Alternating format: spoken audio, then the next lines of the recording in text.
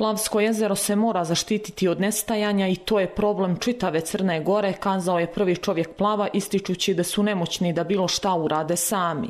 Ipak to nije jedini problem, rečeno je na konferenciji koja se održava u Plavu i Gusinju povodom 32. godine od proglašenja Crne Gore ekološkom državom. Da ćete predložiti stručna rešenja, ali uputiti javni apel institucijama da biser prirode Plavsko jezero mora naći način da se riješi problem, da se mora sačuvati od nestajanja problem kod upravljanja otpadom. Svjesni smo da na sjeveru Crne Gore to je crna tačka ekologije. Otpadne vode moraju da budu jedan prioriteta jer zagađuju naše livade, zagađuju naše izvore, zagađuju naše rijeke, zagađuju naše jezero. Ministarka ekologije istakla je da se Crna Gora suočava sa sličnim problemima kao i ostatak svijeta, a to su klimatske promjene, upravljanje otpadom i zaštićenim područjima. A mi smo negdje na početku rješavanja ovih problema.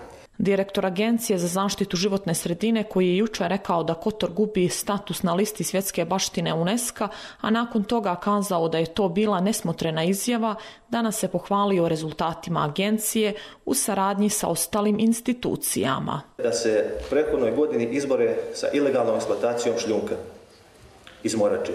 Uspjeli smo zajedno da zaustavimo krivolo na Skadarskom jezeru. Zajedno smo po prvi put u istoriji Crne Gore došli do prvih crvenih lista zaštićenih vrsta.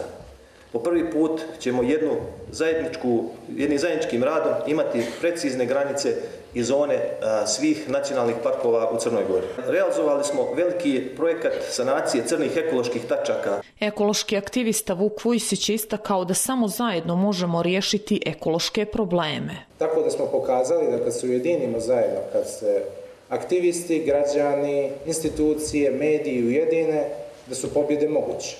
Mislim da su to pravi principi na kojima treba nastaviti dalje rad, ali naravno da i uz pomoć nauke e, pokušamo da doprinesemo bržem razvoju i bržem oporavku, ali i zaštiti životne sredine. Konferenciji prisustvuje 200 učesnika i tokom dva dana biće predstavljeno 120 naučnih radova.